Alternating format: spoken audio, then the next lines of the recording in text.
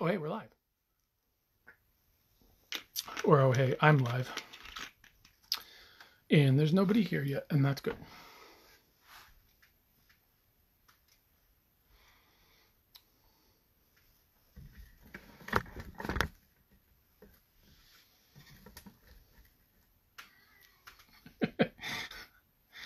I knew there'd be one person here.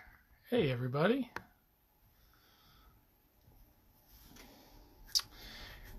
Hey, if you're just joining us, uh, my name is Jay. It is officially episode one of uh, what I'm calling Both Laugh, the Dying Scene live interviews. Let me see if I can get our first official guests, Michael Kane. Let's see. Waiting for the morning afters. Boy, that has a ring to it. Um, probably help if I turn my volume up. Whoa. Hey, there you- right. How's it going? There we go. How are you? I'm well. How are you? I'm surprised I figured this out. Like I'm I just uh in this whole quarantine thing, I realized that I'm not as good at a lot of this stuff as I Oh, thought yeah, I would sure. be. yeah, So this is uh yeah, how are you? I'm not not doing too bad. I am also surprised I figured this thing out too. We did a little trial run last week. Me and Dave, the guy who started Dying Scene 10 or 11 years ago, Mhm. he lives in South Africa. And I said, you know, just go big, right? Let's see if we can connect internationally the first yeah, time. But right? How's the uh, uh, it's pretty cool. how's the website going? It is still uh, not down, uh, not up. Um, it's been since Veterans Day officially. oh. Um, yeah, it's tough. Um, I think that if I think that if everybody had a lot more time on their hands for the last few months, it would have been up by now. But the amount of work that it needs to be repopulated and it's it's all by the way, it's all Greek to me. Like I don't Yeah. understand website stuff. So Mhm.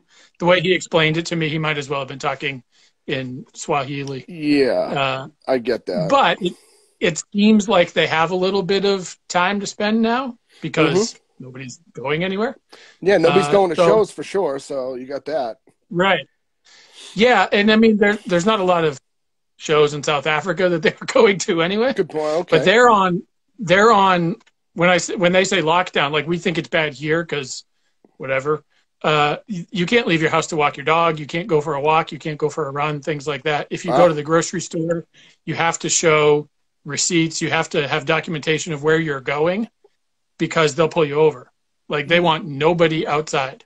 Yeah, I mean, fair enough. I mean, Yeah, you know, Seems to be working. seriously. Hey, whatever works for you, right? exactly. Mm. So thanks for uh, coming on. This is, I guess, Yeah. officially episode one. Number one. I Um, can't say I'm number one at much, so like, I like this. I'm number one. First Exactly. Guy. First guy. I'm, Exactly. I'm, I'm honored. Thank you. Thanks for doing it. So how's uh, how's quarantine life treating you? Uh, I mean, I guess the same as everybody, really. It's uh, I'm working, so it's super bizarre because it's like um, the world is stopped, and you're just going about your business, and you're going to work, and you're coming home, and the Red Sox aren't on, and there's no shows to go to, and you can't have band practice, and obviously, really trivial things compared to people that are suffering. Um, Right. but uh yeah it's just weird it's just weird so uh but yeah i mean writing a lot of songs and trying to hash through all that stuff we were three days away from finishing our record and then shit sprayed all over the fan and then Yeah. Right. now uh we're just we're sitting on a record that's like almost done so yeah Yeah, that's one of the things I wanted to talk about. One of the whole uh, reasons that I wanted to do this, a, is to keep myself connected because there's no shows to take pictures at and whatever. hmm Uh, and I can't publish any interviews because the site's down. But I saw other people using Instagram Live to do this whole split screen thing. I said, well, let's go live. absolutely Uh, but one of the things I especially want to do is talk to people who have either had shows canceled, tours canceled, things like that, and then people that are doing cool things to stay connected and Mm. stay productive. And so you kind of had both because I think yours was one of the first shows that I remember that got canceled because of this whole thing. Like that show at once that was lined up, right? Yeah, we had a show with Kevin Devine at once, and it was one of the first few that got pulled, and we didn't really know until the day before. We were still sort of on the fence about it, and then it really got bad, so they pulled that. I mean, luckily we didn't have any tours like some of our friends that like had whole like just European slash world tours pulled. It was just a few local shows for us, but um, yeah, it was it was. Geez, I couldn't even tell you when it was. It feels like a different lifetime. like, yeah, right. Like when shows happened. Like I even watch TV now, and I'm I look at it going like, why are they so close together on that show? yeah, right. Like I don't get it. They should be farther yep. apart. So yep. yeah. Every show that we've watched, even shows that came out my daughter's been rewatching the entire Gilmore Girls from start to finish. Oh, good. And so yeah. even, even conversations in there and like everything I feel like relates to quarantine life now. And so I think about things the way we think about them just for the last six weeks. Yeah, absolutely. Yeah, I um, and you you watch the strangest shit too because I'm a big Red Sox fan. So yeah, I watch almost all the games, and um, without the Red Sox on. Like I'm I'm digging into YouTube on the TV. I'm big into watching disc golf. So I'm watching the disc golf championship from like 2018 on YouTube. I'm watching that, and I've watched the first two seasons of Doogie Howser. So, no lie, it's on disc, Hulu. Yeah, disc golf is, is that that's the frisbee golf? The frisbee golf. Correct? You're supposed to call it disc golf. The laymen call it frisbee, but yes, um, yeah, but so it is with frisbees, right? It is with frisbees. I even bought one of the baskets. Like yeah, I'm all yeah. in. I bought the baskets. I bought the, uh, you know, quarantine does some shit. You know, it does some shit. Guy that lived upstairs from us was a big disc golf player for a while, and he would put the put the net in the backyard mm-hmm. and throw. Are you supposed to call them frisbees or discs? You yeah. throw discs you from throw all discs. over the yard. Yep, yeah. it, it's it's harder than it looks. It's not easy. So. Mm-hmm. I believe it. Yeah, the rock skipping. My either my wife or my daughter posted there. Uh, there was a rock skipping competition oh, on TV it. the other day. Saw it. Yes. Did you? Yeah. Yes. From somewhere in Michigan, I think. Yeah, that was bizarre too. Um, yeah. But yeah, the strangest shit. You're finding the strangest shit. Like I said, in between trying to finish songs to get them to squeeze on the record. Um, now that we got a little bit of time, to just watching the strangest stuff. That's pretty much all I've been doing. So, and ordering weird stuff online and like friends' records. I know this weekend they're doing a, another Bandcamp thing where they they're not taking any money. Yeah. So I have a list of things I want to pick up, try to help out. You know. Yeah, that's great. Yeah. So let's, uh, for people that might not know, let's give a little bit of the backstory of Michael Kane and the morning afters. Cool. Yeah. Um, I think from around here, people know who you are. But yeah. from outside, where did Michael Kane in the morning after come yeah, from? So we um we started in 2016 um by total chance. Um my cousin who passed away, I I was in every band with him and we he had a a vintage Gibson SG that had the neck snapped on it. So I posted on Facebook. I said uh I said uh who repairs these things? Like who can I get? And somebody tagged Franklin in it who I didn't know. I didn't know. Oh, him. really? Um, yeah, yeah. So, um, strangely enough, I saw Broken Stereo a couple times, and he was in that. So I had seen him, but I didn't know him. And right. we we started talking, and he uh, he fixed it, and it looked great, and it played great. And then he said, "Hey, my, he he was in a cover band at the time, and they were playing a show, and he asked me to open up solo, and I did, and it was the first show I played in." Uh, I played a show at the Midway. It was the first time I played in almost ten years. Um, wow. Yeah, so it was. I took a long break, and uh, so Frank was like, "If you ever want to get a band together to do these songs," and I was like, "Right on." So I got him. Yeah. Got a few other dudes. We changed the lineup a bunch of times, and yeah. we're happy with what we have now. And then uh, we demoed a bunch of songs, and Mark from State Line Records, who I've been a friend with forever. Yeah. I just sent him the song saying, "You want to hear these? Like, you know, take a listen." And he was like, "I want to put them out." So, the seven inch that we put out in 2017 was really never meant to come out. It was just something that he enjoyed. Like we weren't recording thinking like, Oh yeah. The- Oh, okay. We we did it all live, so there's really Yeah. barely any overdubs on it. And he really liked it. He wanted to put it out. We did ten songs, and he picked four. And um, Wow. yeah, he picked four, and we put that out. And ever Yeah. since then, we've been trying to record a full length. This is our fourth time in the studio trying to record this full full length. I didn't like the way Yeah. it sounded. I didn't like the way it felt. I felt some of the songs were kind of old, and I just didn't enjoy it. So, new batch of songs, slightly vamped lineup. We added Joe on keys, which is- a world Oh, of right. difference. And um, yeah, right now, where I mean, who knows now? We could get in a room and totally forget how to play our songs. But before all this started, like I feel like we're as strong as we could be, and uh, the record's almost done, and we just need to wait till the studio opens up again and uh, get back at it. You know. Because you launched you launched the Kickstarter right before, or it closed the Kickstarter kind of right before. That was by the happened, skin of our teeth, really.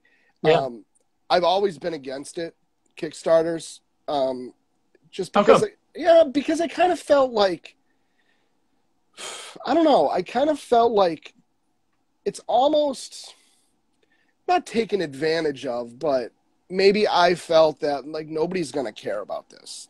Like I'm gonna put a Kickstarter up and I'm just gonna be staring at the screen at that zero dollar, just like w- waiting for it. Um, but people donated, and I was shocked, and um, it was awesome for us because we would have just been piecemealing it together for the next two years, you know, Right. because it's not cheap to do all that, um, you know. So that was really awesome, and just by the skin of our teeth, we we wrapped up probably in like December on the Kickstarter, fit in January, right around there. Yeah. If we had waited any longer, like nobody in their right mind's running a Kickstarter now. Like, give us your money Right. so I can put our little record out. Meanwhile, Right. the world is collapsing. So, by the skin of our teeth, we the Kickstarter happened. People were really interested in it, and I think we had kind of cool perks. Meanwhile, this week I'm making 18 mixtapes for people. Yeah, yeah. So, um, three of them want actual tapes, cassette tapes. really. Yeah, and I'm ready to do it. And I think 14 want So CDs. did you buy them all before everybody shut down? Like you just had cassette tapes on hand? Yeah. Hold on, hold on. Ready? You see that? oh, okay. Oh yeah. Wow. Yeah.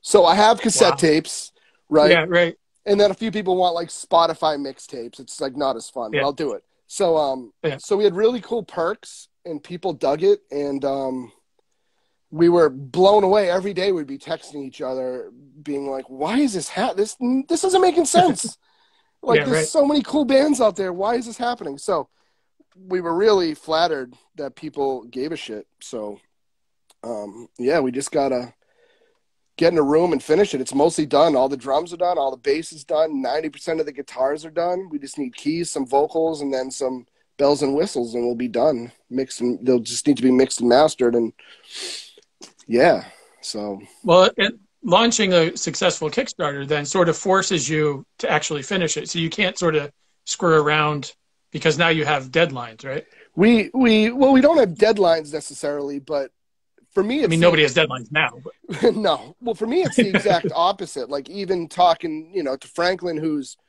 who out of the who's the only like original member.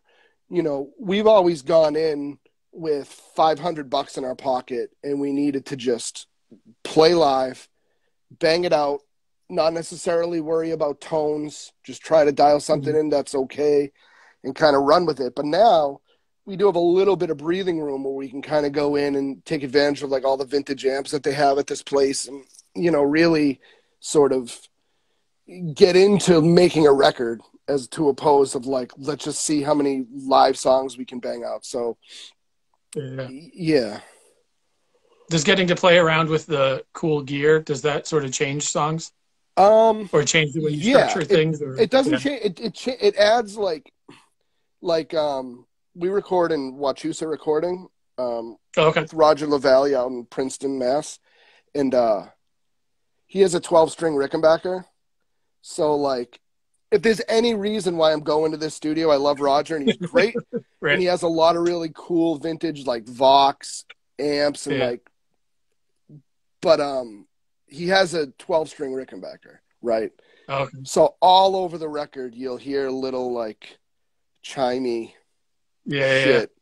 Um. Right. That like I grew up on all that stuff, so like Yeah. I'm really happy to do that. So yeah, you just have a lot of freedom. You know, when the drummer has seven snare drums to choose from, and he's not just bringing his beat up one, like it's just it's kind of cool, and it's not a luxury Yeah. that we usually have. So yeah, Where is Princeton, Massachusetts? As somebody who's lived here forever, I don't know Princeton. it's kind of like if you go by Worcester, almost like you're going to. uh if you're going out towards like sort of Fitchburgy, Leominster, Okay. kind of like out in Yeah. that direction. Yeah. Um, but yeah, it's uh, it's a nice little studio, and it's yeah, we're super comfortable there too. So um, yeah, because you're from you're from Worcester originally. yeah, just just right? out yeah, the safe suburbs. Yeah, just outside of Worcester. Fair enough. yeah. Uh, if there are people that are watching, I know a few people that have checked in that aren't from around here. Worcester is like due west of Boston, about an hour, you'd say, Yeah. and it it might as well be Ohio to a lot of people. It's like Worcester is the end of uh, civilization. It's like Worcester, Ohio, California. I think if you drive west in that order, it's because I grew up in Nashua, so like an hour Mm. north of Boston. Yep. I don't think I set foot in Worcester until I was an adult because there was never a reason to. Because shows that would, uh, yeah, Worcester, uh, shows would go to Boston and we'd go there, or they'd go to Providence, or they'd go to like the Elvis Room in Portsmouth. Yep. So there was never a reason to go. To, and I actually, because of this, went to look through my whole list of shows. I've kept a list of every show I've Oh, ever been to nice. try That's to find killer. things from Worcester. I, I mean, obviously, I've been to the Palladium. I saw Uh-huh. Springsteen at the DCU Center, The cen- yeah, Centrum. Yep. and I couldn't think of anything else. I can't find anything. Yeah, we um, growing up, we always went to Providence. Um, yeah, just because it was easy. So we went down to Club Baby Head a lot, um, the old Yeah. Met a lot, uh, the Living Room, Lupo's, like clubs like that. Every once in a great while, we'd journey up to the Elvis Room. Not often, but if there was like Yeah. something going on, we were like, you know what, we got to go to the Elvis Room. We'd go. Right. Um, and then, um, yeah, and then Boston was kind of like, the, I mean, the Rat. We went, we took Yeah. the train in on Sundays to go to the Rat. Um, but Worcester, Worcester and Boston are this weird thing where it's like when we play a show in our hometown in Worcester, it's like getting people from Boston is like a, it's a, it's a tough, it's a tough sell. Yeah. So we Yeah, usually throw a right. few friends on, like if we play Ralph's or if we play Hotel Vernon, we'll throw a few of our Boston friends bands on, and they'll drag Yeah. a few people out. Um, but yeah, it's a tough, it's a tough. Um, It, really, it's Worcester might as well be Ohio for a I- lot of people. I I tell so people that, yeah.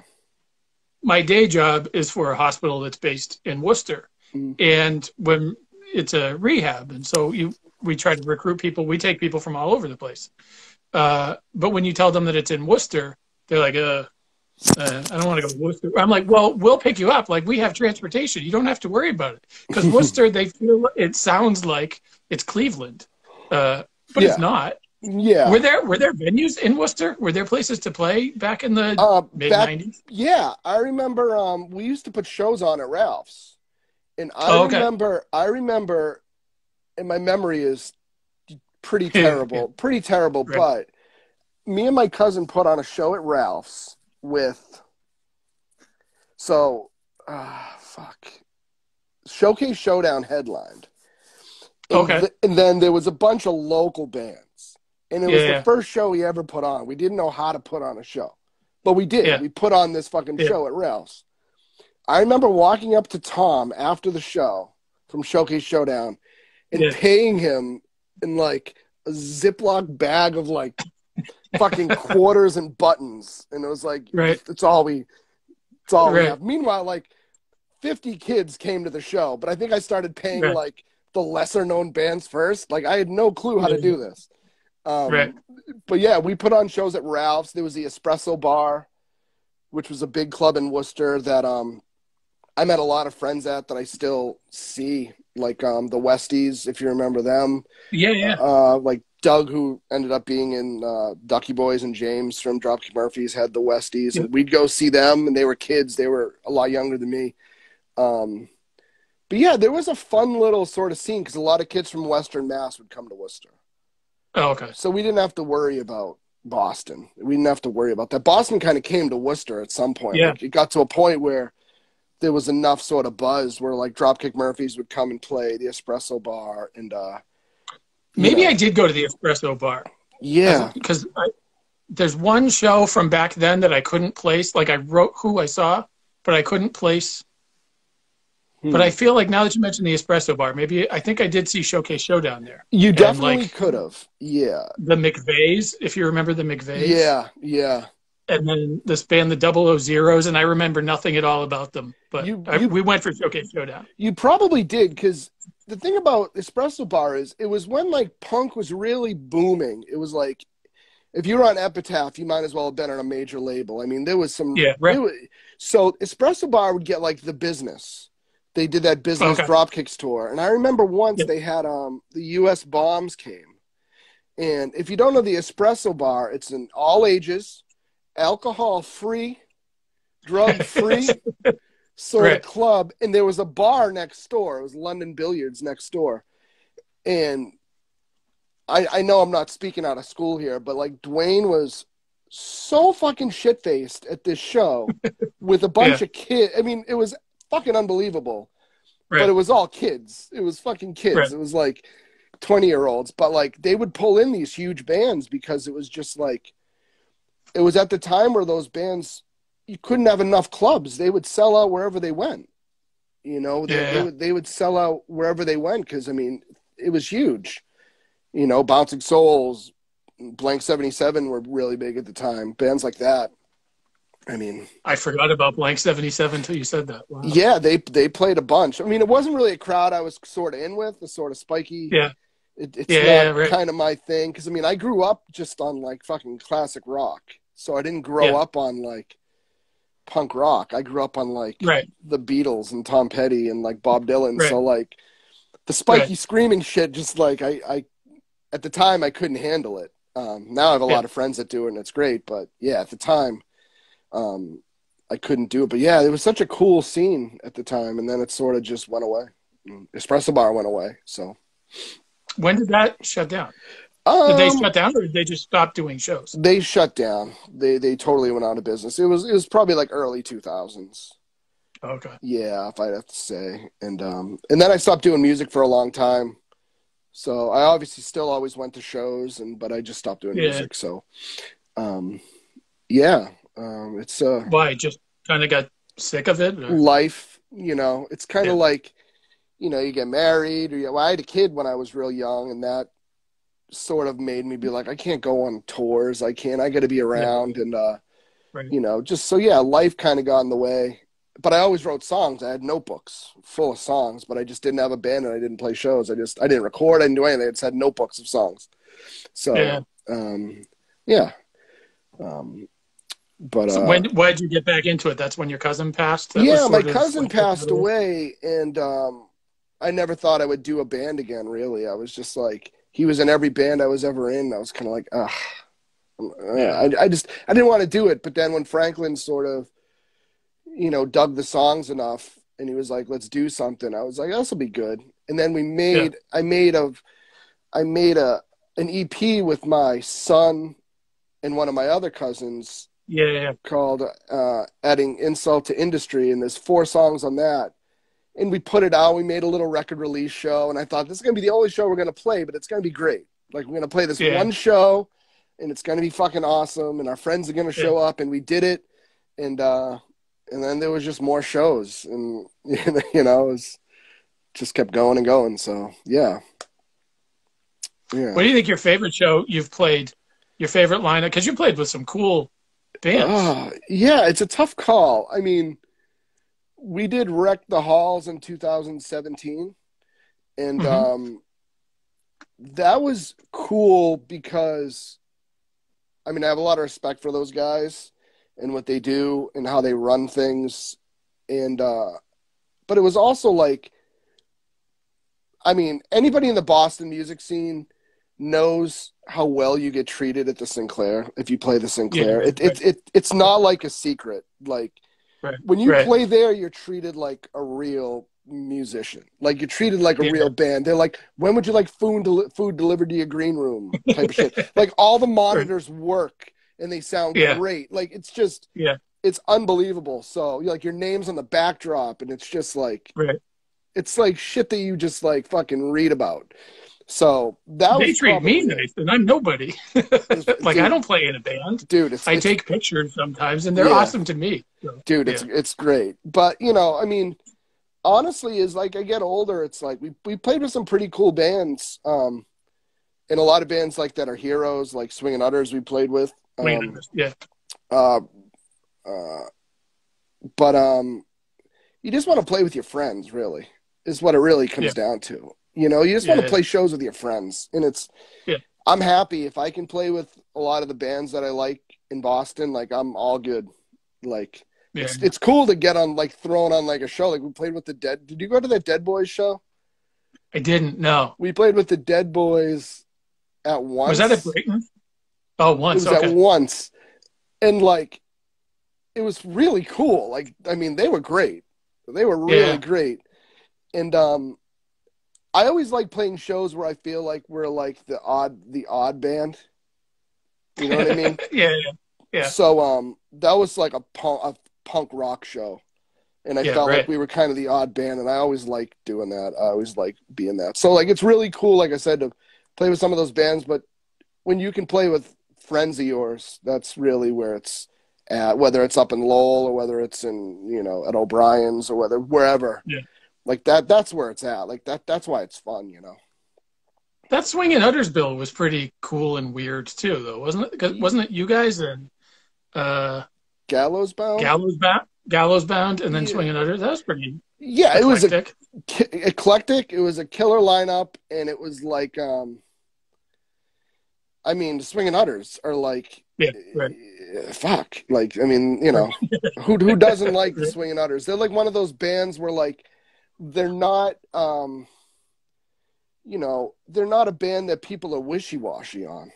Like they're just one of those bands that did it right. They took some time off. They did what they needed to Yeah. do, and like every record just keeps getting fucking better and better.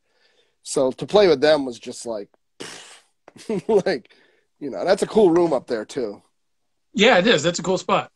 Where um where did the transition to punk rock come from from your classic rock upbringing? Because that sounds like our upbringings are sort of the same, just like an hour apart. But Yeah, where did the transition into punk rock come Um, from? you know, if I had to connect the dots, like I grew up listening to, I mean, the Beatles. Like first tape I ever got was the White Album, followed by Thriller and Born in the USA, and I wore all those out. So That's from a pretty good there, it, it just went to Tom Petty. It went to Bob Yeah. Dylan heavy when I was. I mean, Yeah. I mean, imagine going on the bus, and there's all the back patches, and there's the thin mustaches, and there's the poofy sneakers, and there's the whole thing, and you have your Yeah. Bob Dylan, you know, your Bob Dylan tape Right. on. I remember in 1991. I remember this specifically, 91, 92, right around there. I got on the bus, and some kid was like, "What are you listening to?" And I was like traveling Wilburys, like, you know. and they're just like, what the fuck, right? So I was so kind of bummed about it that I went Yeah. out and bought what I thought was a fucking metal just oh when they find out i'm listening to this these, Yeah, yeah. they're gonna fucking love me right Right. so I went out and bought a record that's still one of my favorite records to this day that came out right around then. And they still continue to shit all over me. And it was the first Black Crowes record, Shake Your Money Maker. That's a great record. Yeah, I'm like, yeah, they have long hair. They're wearing oh, Yeah, right. fucking leather pants. They're wearing leather pants. I remember saying Right. that to a kid. They had leather pants. Like, what are you doing? Right. So after that, it was really just Nirvana that did it. It was Yeah. Nirvana in like 91, 92, and then seeing Nirvana in 93 on the In Utero tour, you know, and then everybody's dyeing their hair, and then punk rock, and then Green Day, and then, you know, and then it just, and then it went from there, really. I mean, that's, did Nirvana ever come through Worcester in those early days? Because they would play in the early early days. They would play places like I Ralph's, think they played Clark University. I think I want to say oh, like one of the small rooms at Clark. I'm not hundred percent sure, but I think they did. yeah, yeah. I wasn't old enough to really be allowed to go see them alone. Yeah.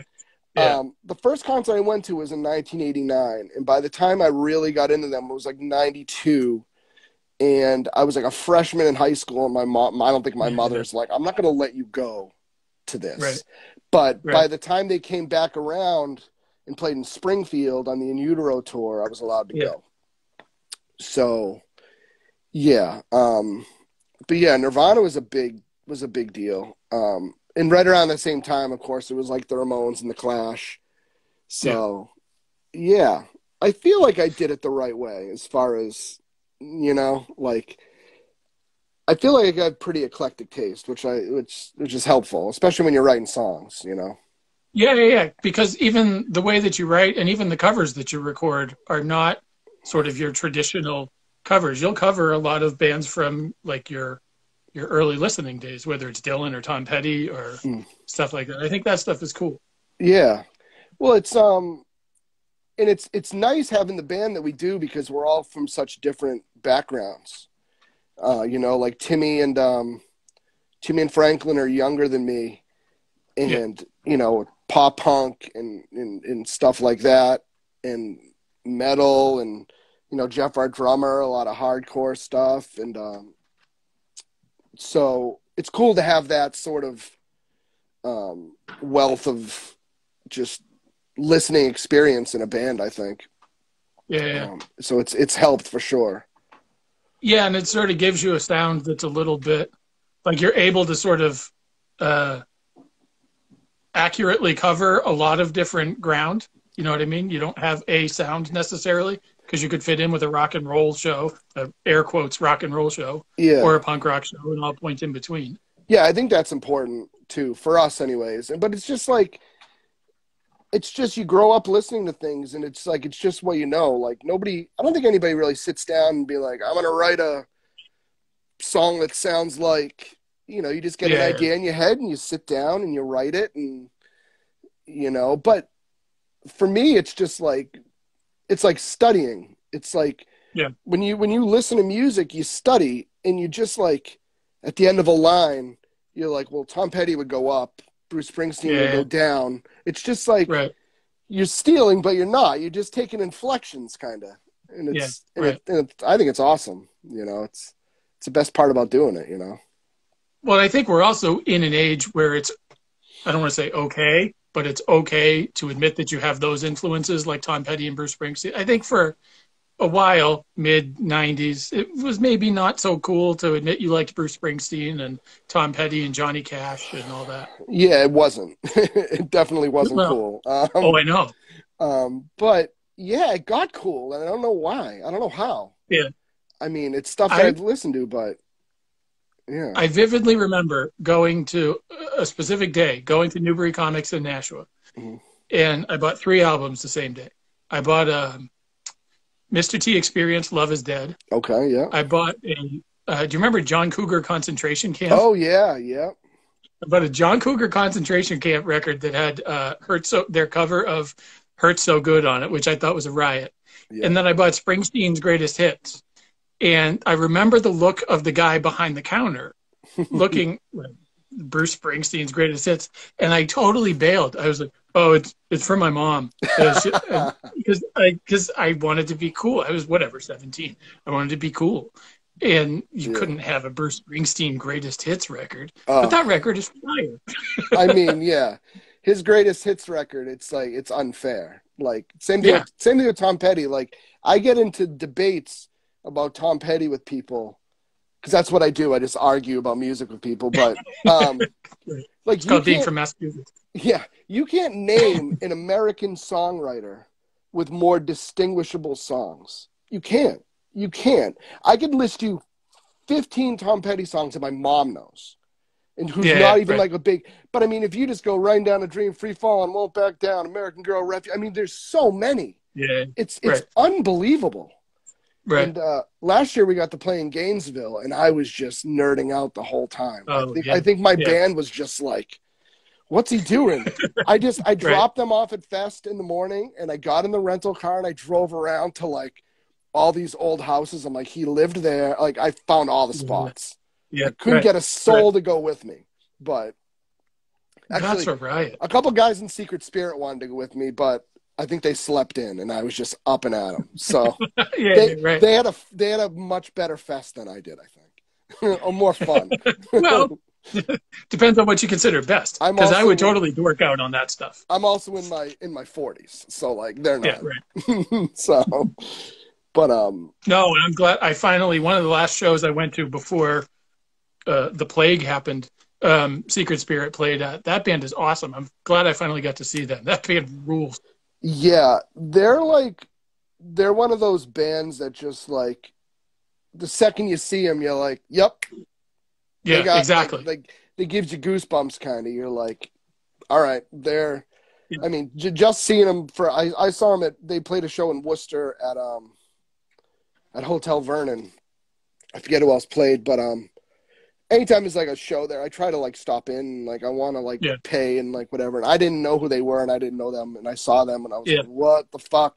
Like sometimes there's bands where like I'm like I'm glad we don't play that kind of music because like yeah, yeah.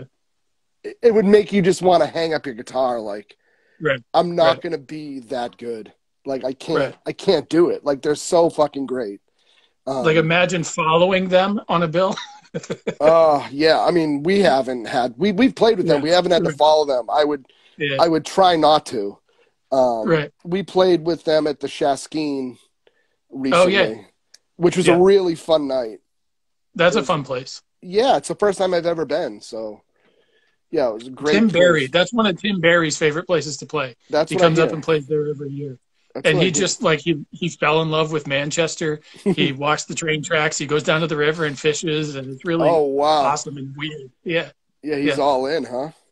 yeah, Yeah. he loves it up here for whatever reason. Yeah, no, it's a great little club.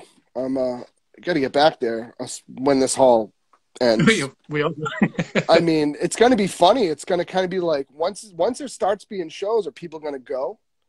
Like, are people Yeah. going to go out to shows? Are people going Right. to be jaded? Or are people going to feel like we got to get in all the fun we can in case this happens again? Like, I don't know. right. It's going to be interesting to see what I- happens. I I posted something just on my Facebook page the other day, and Daniel from Rebuilder, who books a bunch of different clubs in Mhm. Boston, but Mhm. uh, the Hong Kong and Charlie's especially, and he's like, "What happens if we open up, but they cut capacities at clubs? Mhm. So the club capacity is ninety, but what's because of social distancing? What if they only allow fifty-five in now? Mhm. And then what does that do to a show? And does that even warrant? Is it even worth having shows if they're going to cut capacities that small? And uh, like, Yeah. I mean, I kind of think, I mean, I could be wrong, but I kind of think that it's almost going to be like bands are going to be forced to take a step down as far as the venues they play. Because let's say you're a band, and I can't even think of one, but let's say you're a band that's worked through the whole scene. You started playing O'Brien's, and then you Yeah. played Great Scott, and then you played Sinclair, and like a band that's just really like yeah, yeah. you may for the sake of people's well-being in the scene like it would be great for a big band to go you know what we're going to do five nights at o'brien's we're going to Yeah. do five nights at great scott a band that could sell out who knows what because it Right. would just jumpstart things i think because if you do have a lower capacity i don't know do you have a higher ticket price i don't know i mean it's Right. it's going to be something. I mean, bottom line, people are just going to have to go out and support and you know and see what and happens. it's a matter of what phase of society getting back to normal does going to shows come in. Like, is that one of the first things that happens, or is that like the end? no, I mean, I know, Like, I know, I know. California said no, no shows till 2021. Yeah, Um, it just doesn't make. I kind of feel like that's where we're headed. it just doesn't make sense. As much as I want to go to a show, it just. I, I mean, I don't know what it would take for me to be comfortable in a room with 200 people right now. I, I, I certainly wouldn't do it now, but I mean, who knows?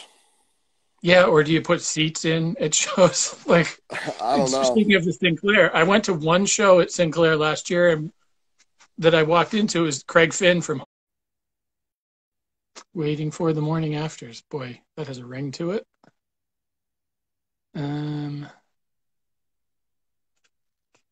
probably help if I turn my volume up. Whoa! Hey, right. how's it going? There we go. How are you? I'm well. How are you? I'm surprised. I figured this out. Like I'm. I just uh, in this whole quarantine thing, I realized that I'm not as good at a lot of this stuff as I Oh, thought yeah, I would sure. be. yeah, So this is uh, yeah. How are you? I'm not not doing too bad. I am also surprised I figured this thing out too. We did a little trial run last week. Me and Dave, the guy who started Dying Scene 10 or 11 years ago, Mhm.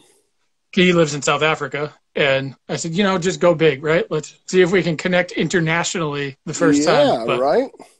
How's the uh, uh, it's pretty cool. how's the website going? Waiting for the morning afters. Boy, that has a ring to it. Um, probably help if I turn my volume up. Whoa! Hey, all there you- right. How's it going? There we go. How are you? I'm well. How are you? I'm surprised. I figured this out. Like I'm. I just uh, in this whole quarantine thing, I realized that I'm not as good at a lot of this stuff as I Oh, thought yeah, I would sure. be. yeah. So this is uh, yeah. How are you? I'm not not doing too bad. I am also surprised I figured this thing out too. We did a little trial run last week. Me and Dave, the guy who started Dying Scene 10 or 11 years ago, Mhm. He lives in South Africa. And I said, you know, just go big, right? Let's see if we can connect internationally the first yeah, time. But right. How's the uh, uh, it's pretty cool. how's the website going? It is still uh, not down, uh, not up. Ugh, Um, it's been since Veterans Day officially. oh man. Uh, yeah, it's tough. Um, I think that if I think that if everybody had a lot more time on their hands for the last few months, it would have been up by now. But the amount of work that it needs to be repopulated and it's it's all by the way, it's all Greek to me. Like I don't Yeah. understand website stuff. So Mhm. the way he explained it to me, he might as well have been talking in Swahili. yeah, Uh, I get that. but it, it seems like they have a little bit of time to spend now because nobody's going anywhere. yeah, nobody's uh, going to so- shows for sure. So you got that. Right. Yeah, and I mean there there's not a lot of shows in South Africa that they were going to anyway. Good point. Okay. But they're on they're on when I when they say lockdown, like we think it's bad here because whatever. Uh, you, you can't leave your house to walk your dog. You can't go for a walk. You can't go for a run. Things like that. If you Wow. go to the grocery store, you have to show receipts. You have to have documentation of where you're going because they'll pull you over. Like they want nobody outside. Yeah, I mean, fair enough. I mean, Yeah, you know, Seems to be working. seriously. hey, whatever works for you, right? exactly. Mm. So thanks for uh, coming on. This is, I guess, Yeah. officially episode one. Number one. Uh, I can't say I'm number one at much. So, like, I like this. I'm number one. First exactly. Guy. First guy. I'm, Exactly. I'm, I'm honored. Thank you. Thanks for doing it. So how's uh, how's quarantine life treating you? Uh, I mean, I guess the same as everybody, really. It's uh, I'm working, so it's super bizarre because it's like um, the world is stopped, and you're just going about your business, and you're going to work, and you're coming home, and the Red Sox aren't on, and there's no shows to go to, and you can't have band practice, and obviously, really trivial things compared to people that are suffering. Um, Right. but uh yeah it's just weird it's just weird so uh but yeah i mean writing a lot of songs and trying to hash through all that stuff we were three days away from finishing our record and then shit sprayed all over the fan and then Yeah. Really. now uh we're just we're sitting on a record that's like almost done so yeah Yeah, that's one of the things I wanted to talk about. One of the whole uh, reasons that I wanted to do this, a, is to keep myself connected because there's no shows to take pictures at and whatever. hmm Uh, and I can't publish any interviews because the site's down. But I saw other people using Instagram Live to do this whole split screen thing. I said, well, let's go live. absolutely Uh, but one of the things I especially want to do is talk to people who have either had shows canceled, tours canceled, things like that, and then people that are doing cool things to stay connected and Mm. stay productive. And so you kind of had both because I think yours was one of the first shows that I remember that got canceled because of this whole thing, like that show at once that was lined up, right? Yeah, we had a show with Kevin Devine at once, and it was one of the first few that got pulled, and we didn't really know until the day before. We were still sort of on the fence about it, and then it really got bad, so they pulled that. I mean, luckily we didn't have any tours like some of our friends that like had whole like just European slash world tours pulled. It was just a few local shows for us, but um yeah, it was it was geez, I couldn't even tell you when it was. It feels like a different lifetime. yeah, right. like when shows happened. Like I even watch TV now and I'm I look at it going like, why are they so close together on that show? Yeah, right. Like I don't get it. They should be farther Yeah. apart. So Yep. yeah. Every show that we've watched, even shows that came out. My daughter's been rewatching the entire Gilmore Girls from start to finish. Oh, good. And so yeah. even, even conversations in there and like everything I feel like relates to quarantine life now. And so I think about things the way we think about them just for the last six weeks. Yeah, absolutely. Yeah, I um, and you you watch the strangest shit too, because I'm a big Red Sox fan. So Yeah. I watch almost all the games, and um, without the Red Sox on, like I'm I'm digging into YouTube on the TV. I'm big into watching disc golf. So I'm watching the disc golf championship from like 2018 on YouTube. I'm watching that, and I've watched the first two seasons of Doogie Howser. So no lie, it's on Disc- Hulu. Yeah. Disc golf is, is that that's the frisbee golf? The frisbee correct? golf. You're supposed to call it disc golf. The laymen call it frisbee, but yes, um, yes. But it is with frisbees, right? It is with frisbees. I even bought one of the baskets. Like, yeah, I'm yeah, all yeah. in. I bought the baskets. I bought the. Uh, you know, quarantine does some shit. You know, it does some shit. guy that lived upstairs from us was a big disc golf player for a while, and he would put the put the net in the backyard and throw. Are you supposed to call them frisbees or discs? You would Yeah, throw discs you throw all over the yard. Yep, Yeah. it, it's it's harder than it looks. It's Yeah. not easy. I, So mhm. I believe it. Yeah, the rock skipping. My either my wife or my daughter posted there. Uh, there was a rock skipping competition on Oh, saw TV it. the other day saw it. Did you? Yeah. Yes. from It's on- somewhere in Michigan, I think. yeah, that was bizarre too. Um, Yeah, but yeah, the strangest shit. You're finding the strangest shit. Like I said, in between trying to finish songs to get them to squeeze on the record, um, now that we got a little bit of time, to just watching the strangest stuff. That's pretty much all I've been doing. So, and ordering weird stuff online and like friends' records. I know this weekend they're doing a, another Bandcamp thing where they they're not taking any money. Yeah. So I have a list of things I want to pick up, try to help out. You know, yeah, that's great. yeah. So let's, uh, for people that might not know, let's give a little bit of the backstory of Michael Kane in the morning afters, Cool. Yeah. we can. 'Cause I Um, think from around here, people know who you are, but yeah. from outside, where did Michael Kane in the morning After come yeah from? so we um we started in 2016 um by total chance. Um my cousin who passed away i i was in every band with him and we he had a a vintage gibson sg that had the neck snapped on it. So i posted on facebook i said uh i said uh who repairs these things? Like who can i get? And somebody tagged franklin in it who i didn't know i didn't know Oh, him. really? Um, yeah. So, um, strangely enough, I saw Broken Stereo a couple times, and he was in that. So I had Yeah. seen him, but I didn't know him. And Right. we we started talking, and he uh, he fixed it, and it looked great, and it played great. And then he said, "Hey, my, he he was in a cover band at the time, and they were playing a show, and he asked me to open up solo, and I did, and it was the first show I played in. Uh, I played a show at the Midway. It was the first time I played in almost ten years. Um, Wow. Yeah, so it was. I took a long break, and uh, so Frank was like, "If you ever want to get a band together to do these songs," and I was like, "Right on." So I got him. Yeah. Got a few other dudes. We changed the lineup a bunch of times, and Yeah. we're happy with what we have now. And then uh, we demoed a bunch of songs, and Mark from State Line Records, who I've been a friend with forever, Yeah. I just sent him the song saying, "You want to hear these? Like, you know, take a listen." And he was like, "I want to put them out." So, the seven inch that we put out in 2017 was really never meant to come out. It was just something that he enjoyed. Like we weren't recording thinking like, "Oh yeah, Oh, okay. we we did it all live." So there's really Yeah. barely any overdubs on it and he really liked it he wanted to put it out we did 10 songs and he picked four and um, Wow. yeah he picked four and we put that out. And ever Yeah. since then we've been trying to record a full length. This is our fourth time in the studio trying to record this full, full length. I didn't like the way Yeah. it sounded. I didn't like the way it felt.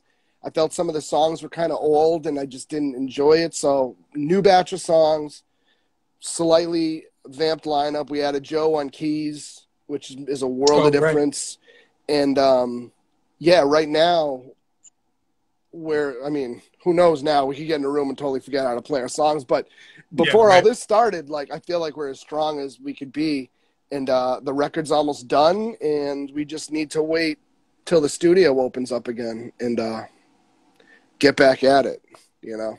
Because you launched you launched the Kickstarter right before, or it closed the Kickstarter kind of right before. That was by the happened, skin of our teeth, really. Yeah. Um, I've always been against it, Kickstarters. Um, just because. I, yeah, because I kind of felt like, I don't know, I kind of felt like it's almost not taken advantage of, but maybe I felt that like nobody's gonna care about this. Like I'm gonna put a Kickstarter up and I'm just gonna be staring at the screen at that zero dollars, just like w- waiting for it. Um, but people donated, and I was shocked, and um, it was awesome for us because we would have just been piecemealing it together for the next two years, you know, Right. Um, because it's not cheap to do all that, um, you know. So that was really awesome, and just by the skin of our teeth, we we wrapped up probably in like December on the Kickstarter, fit in January, right around there.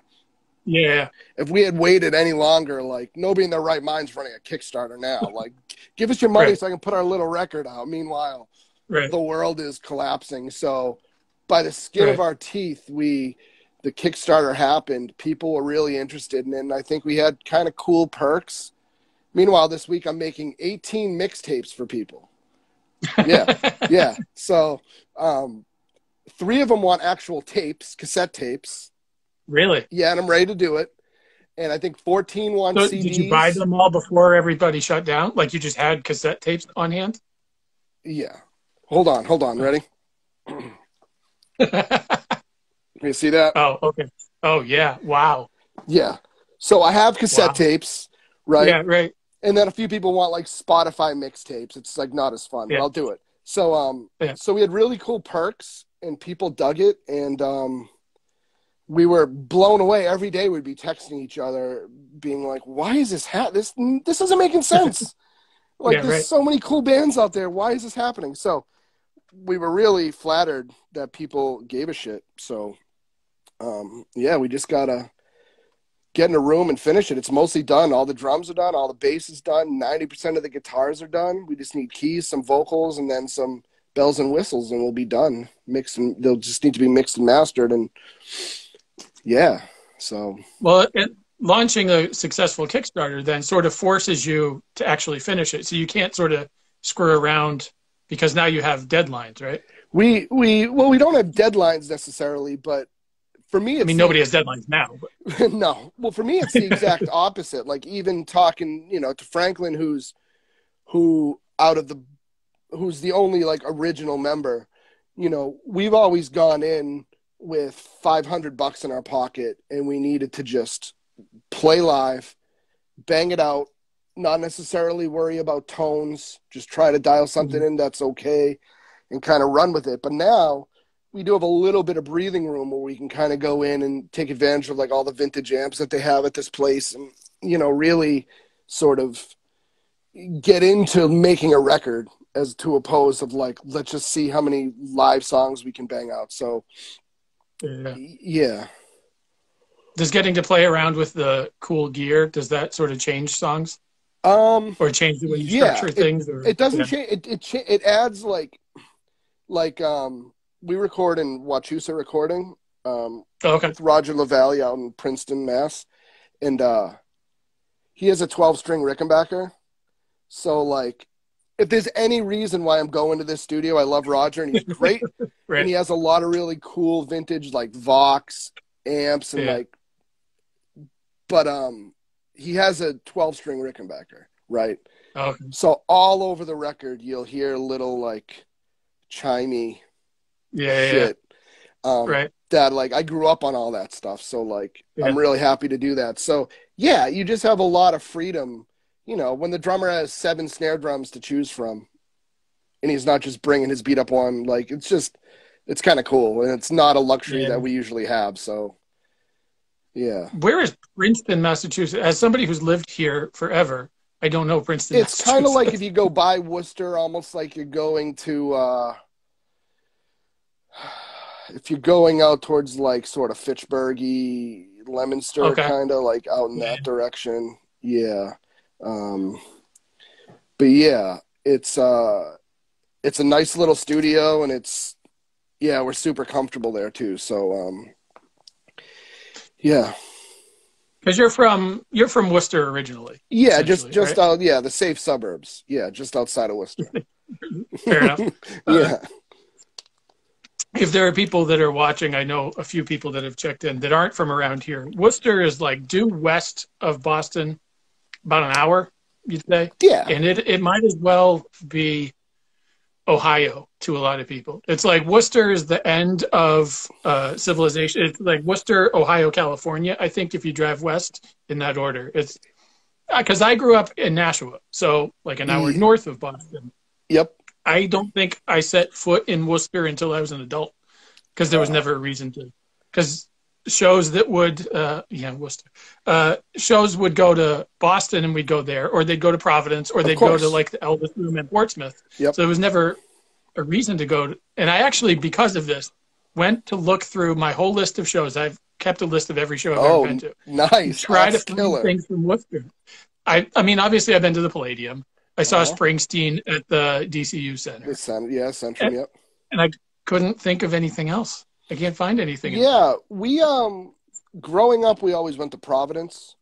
Um, yeah, just because it was easy. So we went down to Club Babyhead a lot, um, the old Yeah. Met a lot, uh, the Living Room, Lupo's, like clubs like that. Every once in a great while, we'd journey up to the Elvis Room. Not often, but if Yeah. there was like Yeah. something going on, we were like, you know what, we got to go to the Elvis Room. We'd go. Right. Um, and then, um, yeah, and then Boston was kind of like, the, I mean, the Rat. We went, we took Yeah. the train in on Sundays to go to the Rat. Um, but Worcester, Worcester and Boston are this weird thing where it's like when we play a show in our hometown in Worcester, it's like getting people from Boston is like a, it's a, it's a tough, it's a tough sell. Yeah. So we Yeah, usually throw a right. few friends on, like if we play Ralph's or if we play Hotel Vernon, we'll throw a few of our Boston friends bands on, and they'll drag Yeah. a few people out. Um, but yeah, it's a tough, it's a tough. Um, it, really, it's Worcester might as well be Ohio for a I- lot of people. I, I tell so people that, yeah. my day job is for a hospital that's based in Worcester, Mm. and when it's a rehab, and so you we try to recruit people. We take people from all over the place, uh, but when you tell them that it's in Worcester, they're like, uh. Uh, I don't want to go to Worcester. I'm like, well, we'll pick you up. Like, we have transportation. You don't have to worry about it. Because Worcester, they feel it sounds like it's Cleveland, uh, but Yeah. it's not. Yeah. Were there were there venues in Worcester? Were there places to play back in the Uh, mid '90s? yeah, I remember. Um, we used to put shows on at Ralph's, and I Oh, okay. remember. I remember, and my memory is pretty terrible. Pretty terrible. Right. But me and my cousin put on a show at Ralph's with. So, ah, fuck. Showcase Showdown headlined. And, Okay. th- and then there was a bunch of local bands. And it was Yeah, yeah. the first show we ever put on. We didn't know how to put on a show. But we did. Yeah. We put on this fucking Yeah. show at Ralph's. I remember walking up to Tom after the show from Showcase Showdown and Yeah. paying him in like a Ziploc bag of like fucking quarters and buttons. And it was like, Right. it's all we, it's all we have. Meanwhile, like 50 kids came to the show, but I think I started paying Right. like the lesser known bands first. Like I had no clue how to do this. Um, Right. But yeah, we put on shows at Ralph's. There was the Espresso Bar, which was a big club in Worcester that um, I met a lot of friends at that I still see, like um, the Westies, if you remember them. Yeah, yeah. Uh, like Doug, who ended up being in uh, Ducky Boys, and James from Dropkick Murphys had the Westies, and we'd go see them, and they were kids. They were a lot younger than me. Um, but yeah, there was a fun little sort of scene because a lot of kids from Western Mass would come to Worcester, Oh, okay. so we didn't have to worry about Boston. We didn't have to worry about that. Boston kind of came to Worcester at some point. Yeah. Like, it got to a point where there was enough sort of buzz where like Dropkick Murphys would come and play the Espresso Bar, and uh, Maybe know. I did go to the espresso bar. yeah. Because there's one show from back then that I couldn't place. Like I wrote who I saw, but I couldn't place. Hmm. But I feel like now that you mentioned the espresso bar, maybe I think I did see Showcase Showdown there. You definitely like- could have. Yeah. The McVeys, if you remember the McVeys. Yeah. Yeah. And then this band, the Double O Zeros, and I remember nothing at all about them. But You- I, you- we went for Showcase Showdown. You probably did because the thing about Espresso Bar is it was when like punk was really booming. It was like if you were on Epitaph, you might as well have been on a major label. I mean, there was some. Yeah, right. was- so Espresso Bar would get like the business. They did that business Okay. Dropkicks tour, and I remember once Yeah. they had um the U.S. Bombs came, and if you don't know the Espresso Bar, it's an all ages, alcohol free, drug free sort Right. of club, and there was a bar next door. It was London Billiards next door, and I I know I'm not speaking out of school here, but like Duane was so fucking shit faced at this show with a bunch of kids. I mean, it was fucking unbelievable. Right. But it was all kids. It was fucking kids. Right. It was like 20 year olds. But like they would pull in these huge bands because it was just like, it was at the time where those bands, you couldn't have enough clubs. They would sell out wherever they went. You know, they, Yeah. they, would, they would sell out wherever they went because, I mean, it was huge. You know, Bouncing Souls, Blank 77 were really big at the time. Bands like that. I mean, I forgot about Blank 77 until you said that. Wow. yeah, they they played a bunch. I mean, it wasn't really a crowd I was sort of in with, the sort of spiky. Yeah. It, it's Yeah, not yeah, right. kind of my thing because I mean, I grew up just on like fucking classic rock, so I didn't grow Yeah. up on like punk rock. I grew up on like Right. the Beatles and Tom Petty and like Bob Dylan. Right. So like the spiky Right. screaming shit, just like I, I at the time I couldn't handle it. Um, now I have a Yeah. lot of friends that do it and it's great, but yeah, at the time, um, I couldn't do it. But yeah, it was such a cool scene at the time, and then it sort of just went away. Mm, Espresso Bar went away. So When did that shut down? Um, Did they shut down or did they just stop doing shows? they shut down. They they totally went out of business. It was it was probably like early two thousands. Okay. Yeah, if I'd have to say. And um and then I stopped doing music for a long time. So I obviously still always went to shows and but I just stopped doing Yeah. music. So um yeah. Um it's uh Why? Just kind of got sick of it? or- life, you know. It's kind of Yeah. like you know, you get married or you, well, I had a kid when I was real young and that sort of made me be like I can't go on tours. I can't I got to be around and uh Right. you know, just so yeah, life kind of got in the way. But I always wrote songs. I had notebooks full of songs, but I just didn't have a band and I didn't play shows. I just I didn't record. I didn't do anything. I just had notebooks of songs. So Yeah. um, yeah. Um, but So uh, when why did you get back into it? That's when your cousin passed. That yeah, my cousin like- passed away, and um, I never thought I would do a band again. Really, I was just like he was in every band I was ever in. I was kind of like, ugh. I, I just I didn't want to do it. But then when Franklin sort of, you know, dug the songs enough, and he was like, "Let's do something," I was like, "This will be good." And then we made I made a I made a an EP with my son and one of my other cousins Yeah, yeah, called uh, "Adding Insult to Industry," and there's four songs on that. And we put it out. We made a little record release show, and I thought this is gonna be the only show we're gonna play, but it's gonna be great. Like we're gonna play this Yeah. one show, and it's gonna be fucking awesome, and our friends are gonna show up, and we did it, and uh, and then there was just more shows, and you know, it was just kept going and going. So yeah, yeah. What do you think your favorite show you've played?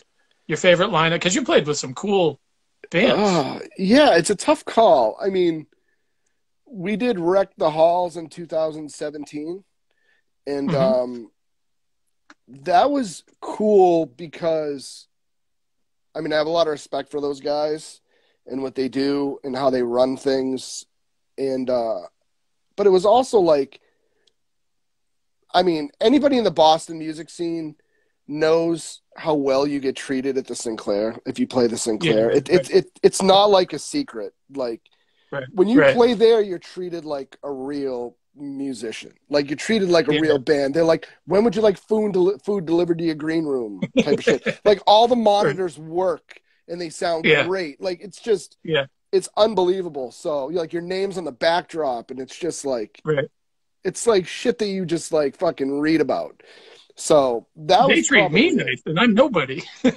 like I don't play in a band. dude it's, I it's take pictures sometimes, and they're Yeah. awesome to me. So, dude it's it's great but you know i mean honestly is like i get older it's like we we played with some pretty cool bands um and a lot of bands like that are heroes like swinging utters we played with um, yeah, uh uh but um you just want to play with your friends really is what it really comes Yeah. down to you know you just want to play shows with your friends and it's Yeah. i'm happy if i can play with a lot of the bands that i like in boston like i'm all good like yeah. it's, it's cool to get on like thrown on like a show like we played with the dead did you go to that dead boys show I didn't know. we played with the dead boys at once Was that at Brighton?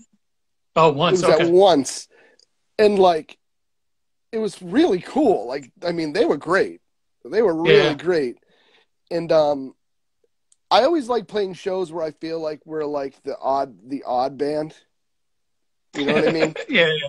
Yeah. So um, that was like a punk, a punk rock show, and I Yeah, felt like we were kind of the odd band, and I always like doing that. I always like being that. So like it's really cool, like I said, to play with some of those bands. But when you can play with friends of yours, that's really where it's at. Whether it's up in Lowell or whether it's in you know at O'Brien's or whether wherever. Yeah. Like that. That's where it's at. Like that. That's why it's fun. You know. That Swinging Utters bill was pretty cool and weird too, though, wasn't it? wasn't it you guys and uh, Gallows bound. Gallows Bound, Gallows Bound, and then Yeah. swinging Utters? That was pretty yeah, it was a eclectic. eclectic. It was a killer lineup, and it was like, um, I mean, the swinging utters are like, Yeah, right. eh, fuck. Like, I mean, you know, who who doesn't like the Right. swinging utters? They're like one of those bands where like they're not, um, you know, they're not a band that people are wishy washy on. Like they're just one of those bands that did it right. They took some time off. They did what they needed to Yeah. do, and like every record just keeps getting fucking better and better. So to play with them was just like, like, you know, that's a cool room up there too. Yeah, it is. That's a cool spot. Where um where did the transition to punk rock come from from your classic rock upbringing? Because that sounds like our upbringings are sort of the same, just like an hour apart. But Yeah, where did the transition into punk rock come Um, from? you know, if I had to connect the dots, like I grew up listening to, I mean, the Beatles. Like first tape I ever got was the White Album, followed by Thriller and Born in the USA, and I wore all those out. So That's from a pretty good there, it, it just went to Tom Petty. It went to Bob Yeah. Dylan heavy when I was. I mean, Yeah.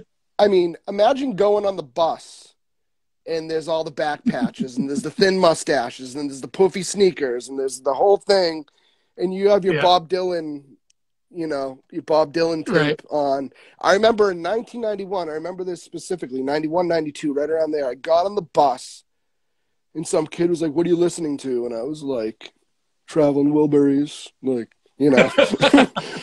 and they're just like, what the fuck, right? So I was so kind of bummed about it that I went Yeah. out and bought what I thought was a fucking metal just oh when they find out i'm listening to this these, Yeah, yeah, they're gonna fucking love me right Right.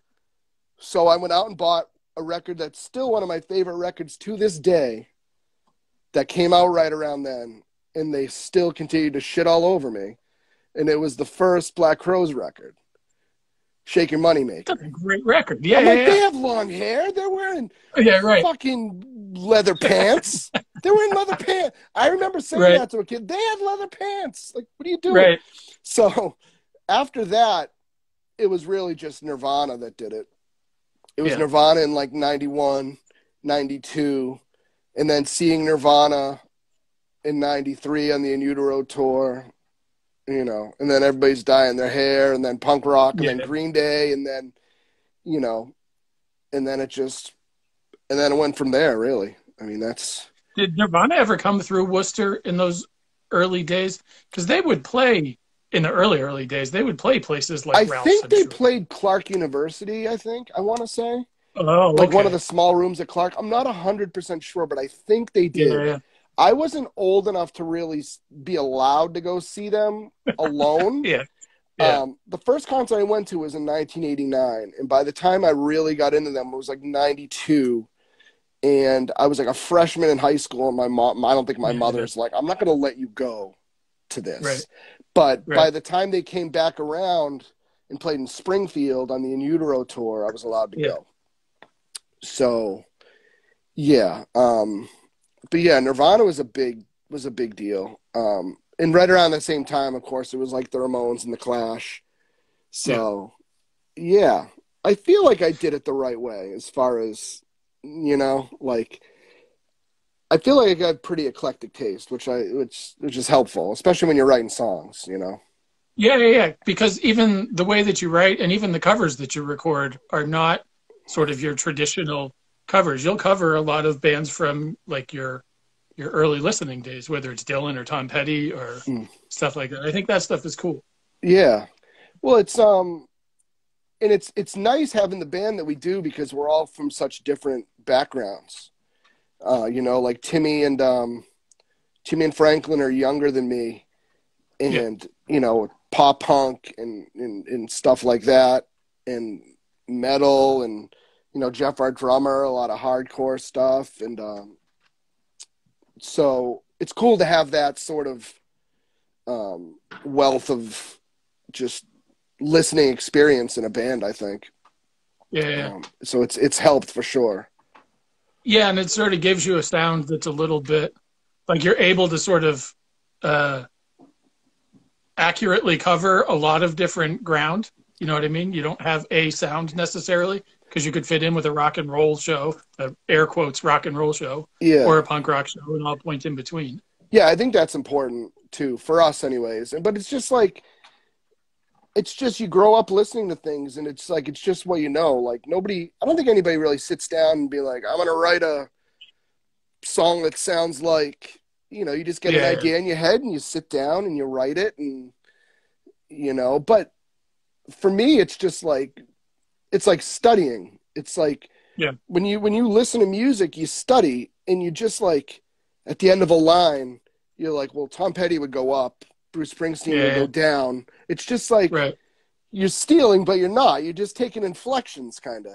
And it's, Yeah, and it, and it, I think it's awesome. You know, it's it's the best part about doing it. You know. Well, I think we're also in an age where it's, I don't want to say okay, but it's okay to admit that you have those influences like Tom Petty and Bruce Springsteen. I think for a while, mid 90s, it was maybe not so cool to admit you liked Bruce Springsteen and Tom Petty and Johnny Cash and all that. Yeah, it wasn't. it definitely wasn't cool. Um, Oh, I know. um, but yeah, it got cool, and I don't know why. I don't know how. Yeah. I mean, it's stuff I- I've listened to, but yeah. I vividly remember going to a specific day, going to Newbury Comics in Nashua, Mhm. and I bought three albums the same day. I bought um, Mr. T Experience, Love Is Dead. okay. Yeah. I bought a. Uh, do you remember John Cougar concentration camp? Oh yeah. Yeah. I bought a John Cougar concentration camp record that had uh, "Hurt So" their cover of "Hurt So Good" on it, which I thought was a riot.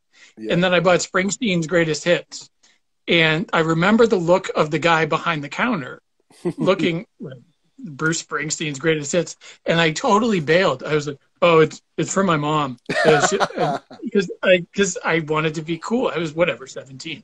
I wanted to be cool, and you Yeah. couldn't have a Bruce Springsteen greatest hits record. Uh, But that record is fire. I mean, yeah, his greatest hits record. It's like it's unfair. Like same thing. Yeah. Same thing with Tom Petty. Like I get into debates about Tom Petty with people because that's what I do. I just argue about music with people. But um, like It's you being can't, from Massachusetts. yeah, you can't name an American songwriter with more distinguishable songs You can't. You can't. I could list you 15 Tom Petty songs that my mom knows.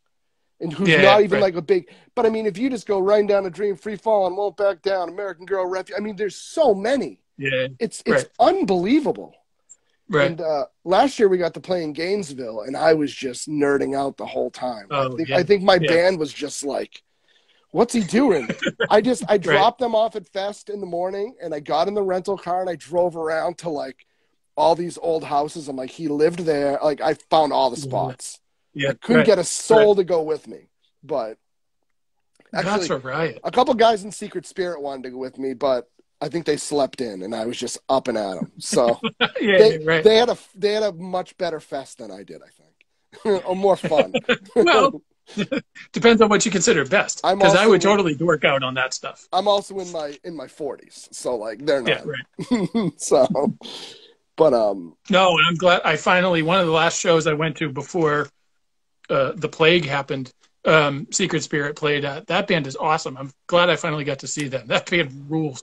Yeah, they're like they're one of those bands that just like the second you see them, you're like, yep, Yeah, got, exactly. Like, like they gives you goosebumps, kind of. You're like, all right, they're.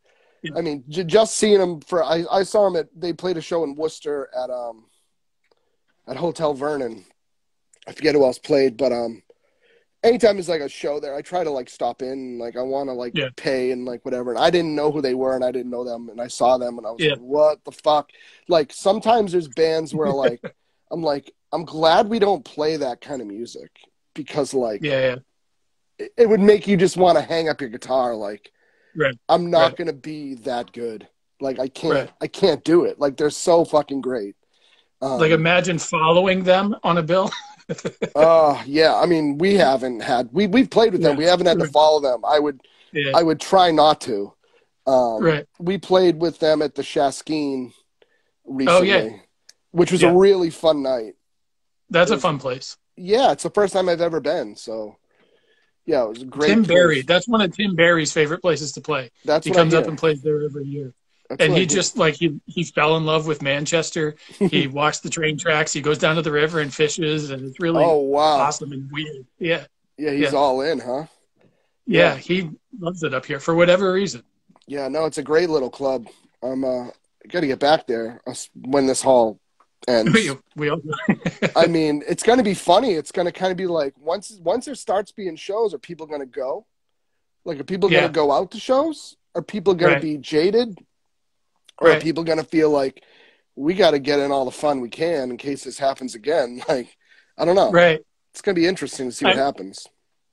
I I posted something just on my Facebook page the other day, and Daniel from Rebuilder, who books a bunch of different clubs in Mhm. Boston, but Mhm. uh, the Hong Kong and Charlie's especially, and he's like, "What happens if we open up, but they cut capacities at clubs? Mhm. So the club capacity is ninety, but what's because of social distancing? What if they only allow fifty-five in now? Mhm. And then what does that do to a show? And does that even warrant? Is it even worth having shows if they're going to cut capacities that small? And uh, like, Yeah.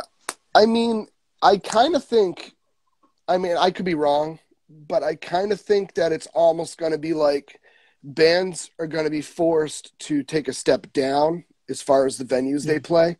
Because let's say you're a band, and I can't even think of one, but let's say you're a band that's worked through the whole scene. You started playing O'Brien's, and then you Yeah. played Great Scott, and then you played Sinclair, and like a band that's just really like yeah, yeah. you may for the sake of people's well-being in the scene like it would be great for a big band to go you know what we're going to do five nights at o'brien's we're going to Yeah. do five nights at great scott a band that could sell out who knows what because it Right. would just jumpstart things i think because if you do have a lower capacity i don't know do you have a higher ticket price i don't know i mean it's Right. it's going to be something. I mean, bottom line, people are just going to have to go out and support and you know see what and happens. it's a matter of what phase of society getting back to normal does going to shows come in. Like, is that one of the first things that happens, or is that like the end? no, I mean, I know, Like, I know, I know. year from now. California said no, no shows till 2021. Yeah, Um, it just doesn't I make kind it, of feel like that's where we're headed. it just doesn't make sense. As much as I want to go to a show, it just I I mean I don't know what it would take for me to be comfortable in a room with 200 people right now. I, I, I certainly wouldn't do it now, but I mean, who knows? Yeah, or do you put seats in at shows? like I don't know. Speaking of the Sinclair, I went to one show at Sinclair last year, and that I walked into was Craig Finn from Hold Steady played. Oh, I wanted to go to that. A, yeah, he played a seated show. Yep. And so I had never seen a seated show at Sinclair, and I was actually a little like I thought I was in the wrong place for a minute because I've never seen chairs there. Uh, but it was definitely. I mean, it's it's a much smaller capacity when you put seats at a place, mm. But and it forces you. And a show like that you can do seated. You know what I mean? Because it's a little, it's a lot of atmosphere and whatever. But that's one way to get around uh, having to pack a place is you put seats there. But who's going to go see Secret Spirit if there's chairs on the floor? no, no. I mean, I think bands like that will just start going, you know, underground. They'll play basements. They'll play house yeah. shows.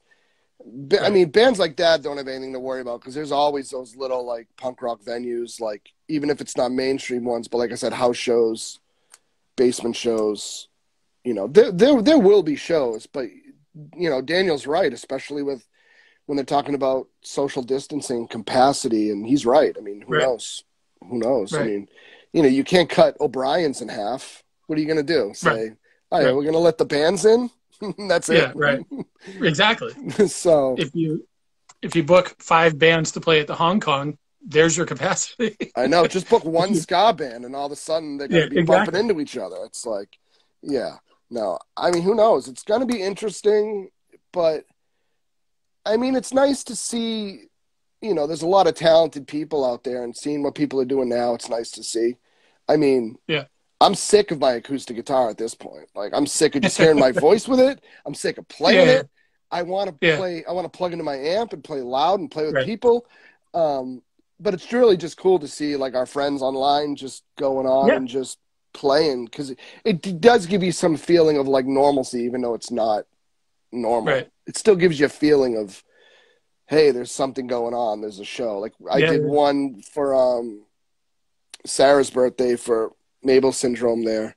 Yeah. And uh, Andy, Andy from the Drowns played, and uh, Chris played from the Scars, and it almost yeah. felt like a real show that we weren't at. Like it was yeah. really cool. Like everybody jumped from one Instagram to the next Instagram to the. It was yeah. it was cool. It was just it felt like a show, except I was sitting on my bed without pants on. You know, cool. Like spoiler alert. If that's all it takes, I'm okay. Yeah, right. Cool. Yeah, but it would be nice to plug in once in a while, though. Oh, like dude.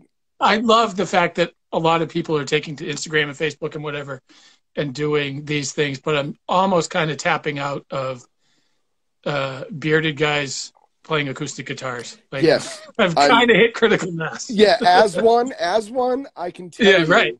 that like, right. um, I can't, I can't do another. I can't do another like Bruce Springsteen cover, and I can't do another ironic cover. Like, I just, right. it's just like I want to play with the band again. Yeah.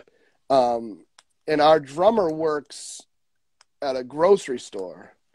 So wow. it's sort of like that's sort of the one piece right there where everybody else is really pretty pretty quarantining, pretty staying away yeah. from people, but he works at a grocery store, so it's kind of like yeah, right.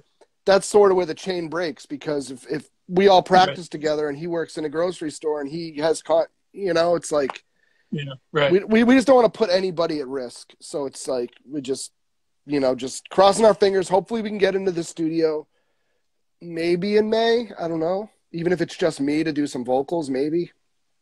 Yeah, yeah. I was gonna say. So, what you to sort of circle back to that? What do you have left to finish up the full length, and do you so, have a timeline? So, um, I have a little bit of guitar to do, um, and we just have some like acoustic backing guitar that needs to go throughout the record.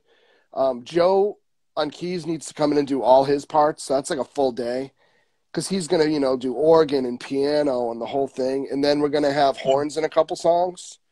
So okay. we're gonna bring them in in the half a day. So it's gonna be crunch time. We might stretch it out to four days, but um, yeah. And I I've written a couple new songs, so we're gonna have two kind of slower songs on the record because I think it's important Mhm. to have kind of like Mhm. a couple downers.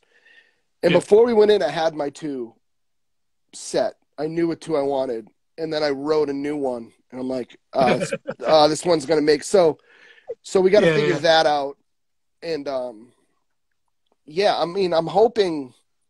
Who knows? I mean, who knows? But yeah, I'm hoping that it comes out this year. You know,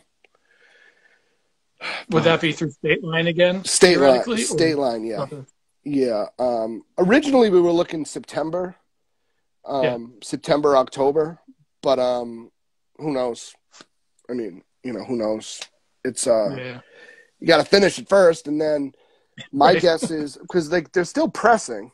Like I know Pirates Press is still Yeah. pressing records, so that's good. So the pressing plants aren't getting backed up because they're still making records. So I'm just hoping that uh, matter of getting it to them. Yeah. yeah, we have all of our Kickstarter swag done. Thank God. Like Yeah. once we got that money, we got all the Kickstarter shirts printed. We got all the screen printed covers printed. We got the pins, Yeah. stickers. We got everything done.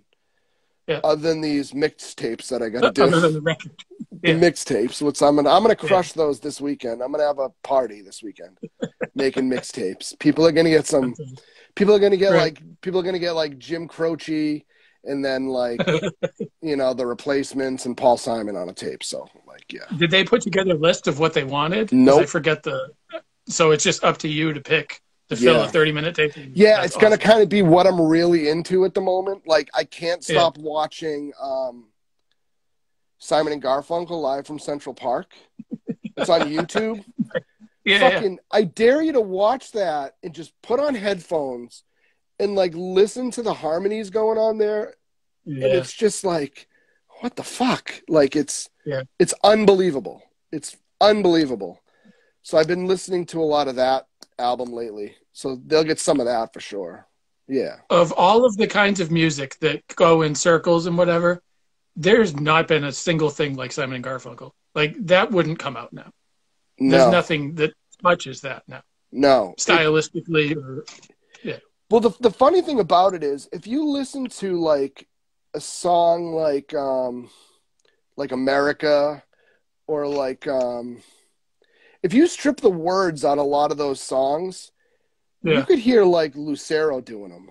You know what I mean? Because it's still just like this story Okay. about Yeah. you know it's it's it's a very genuine story, and like you you could hear a band like that doing almost any of those songs. Like, Yeah. it, it's it's all just i mean if you have good songwriting you have good songwriting. It, it doesn't matter.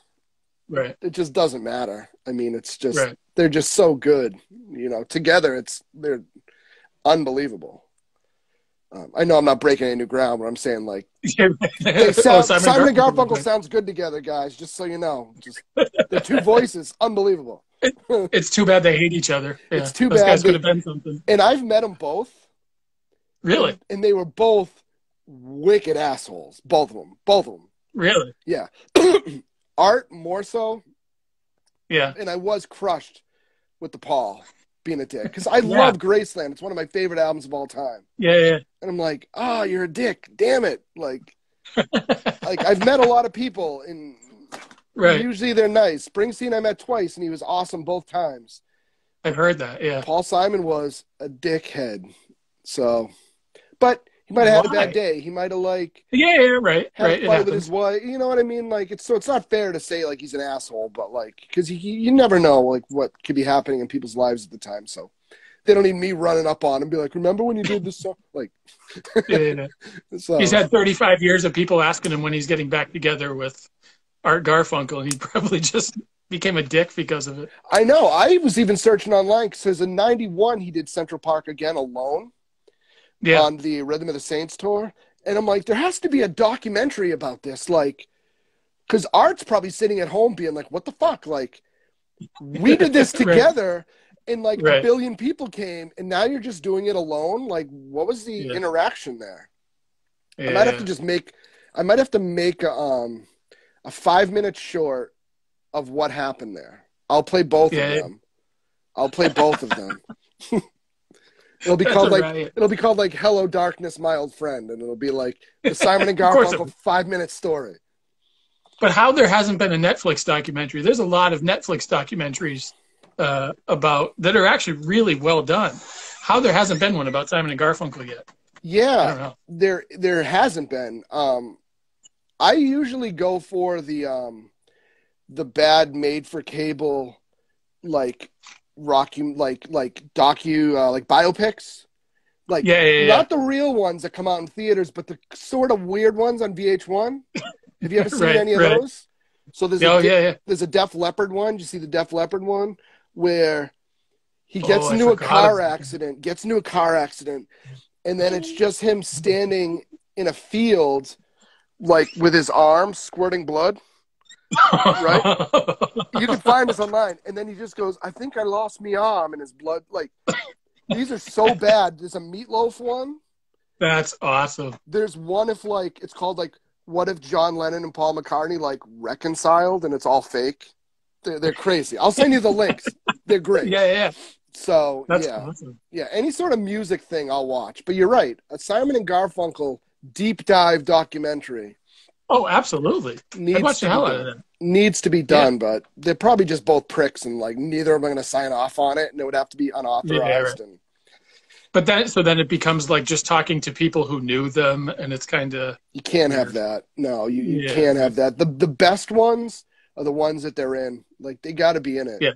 Like th- Yeah. that's why like, I love the Beatles anthology.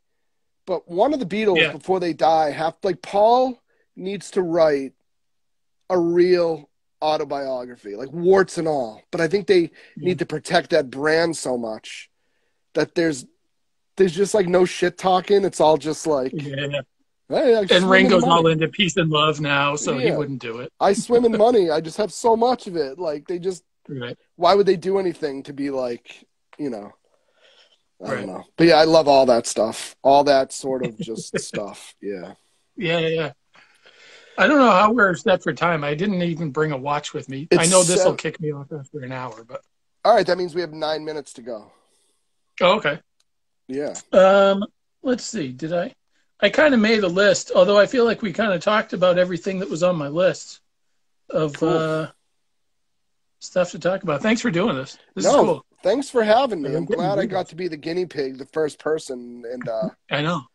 Yeah, this is this is cool. Is this gonna save on on something?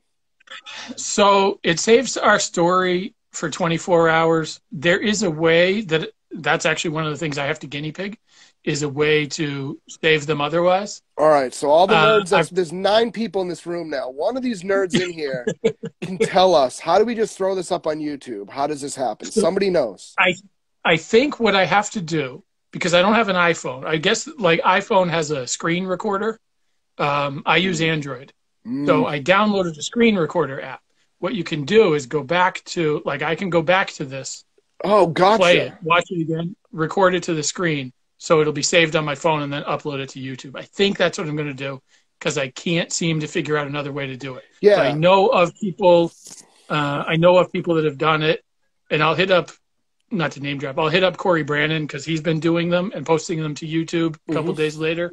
Yep. So I'll kind of pick his brain about how to do it. No, Cory's great. Uh, I saw him at He's the good. Middle East downstairs. I think it was um one of the revival tours. I think, Oh, okay. and I and I and I didn't know him at the time. It was like him, Yeah. Laura Jane Grace. Um, I Yeah. forget who else. Chuck played, I'm sure, and Yeah. I I didn't know him, and I went away thinking like, wow, like, do you know uh do you know Todd Snider at all? Yeah, yeah.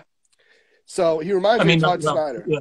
who I Yeah. love. He's from Nashville, and he's such a killer Yeah. songwriter. Like if you like John Prine and like singer songwriters, Right. he's kind of funny and it's really good. And Yeah. uh, he kind of reminded me of him a little bit. Like I couldn't get enough of that uh, "Girl Named Go" song. I'm like, that song's so Yeah. fucking good. That's So, um. Yeah. Yeah, hit him up and be like, how do we save this? I can try on my end too because I have an iPad and an iPhone, and I'm yeah, somebody. into all that. So I guess iPhone and iPad or whatever, because I don't use them. Uh, they have a built-in screen recorder. So you, if you hit screen record and then hit play, then you're just recording what you, what your screen is showing.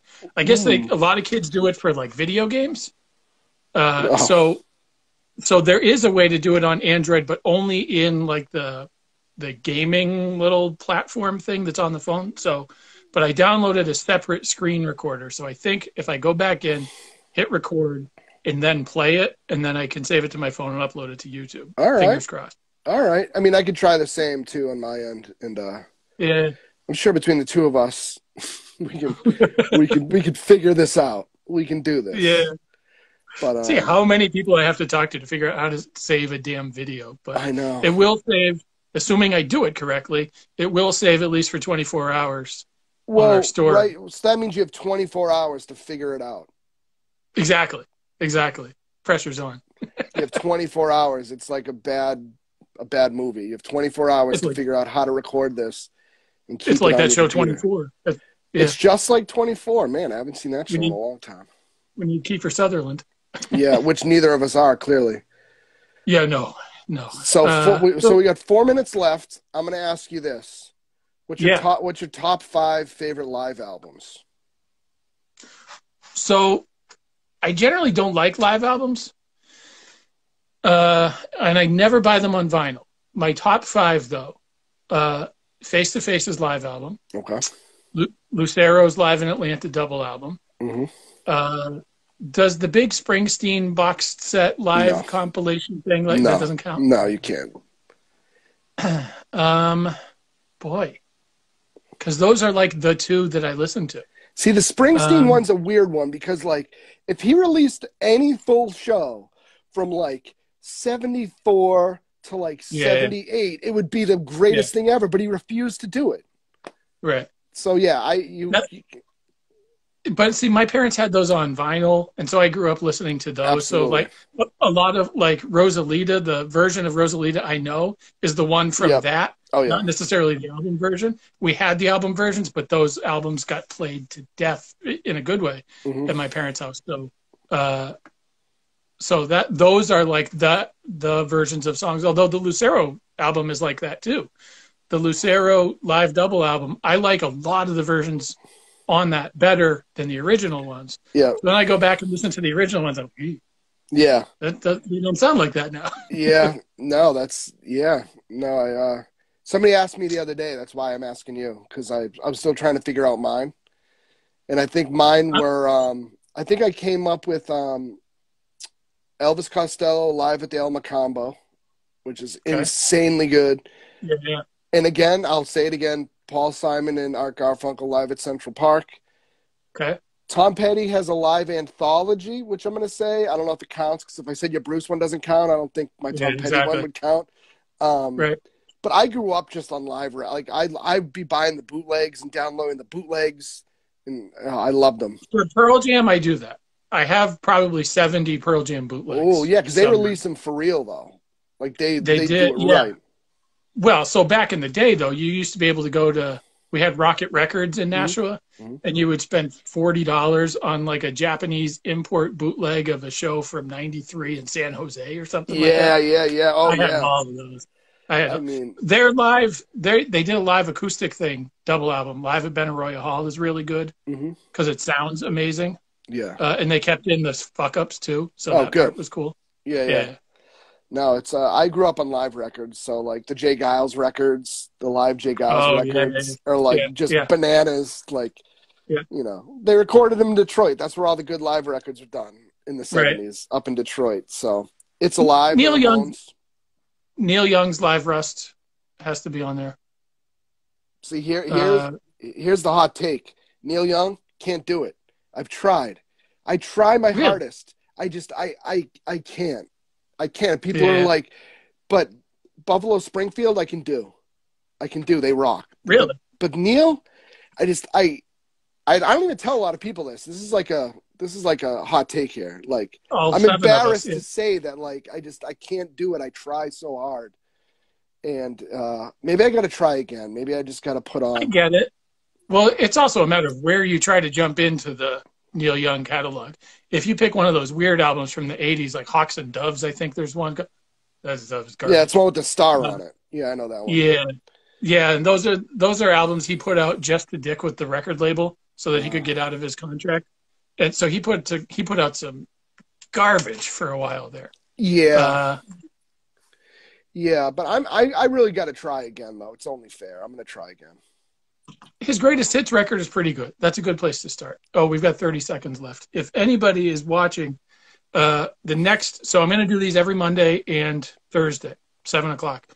Thurs this Thursday will be Rob Rufus from the band Blacklist Royals. Oh, nice. Uh, and he also just wrote a book. It's called Vinyl Underground, and it's pretty good. Ooh, cool. So yeah, we were going to promote that before, so now we'll do it this way. nice. Thank you very much. Thanks for me having off me. Thanks for watching. Absolutely.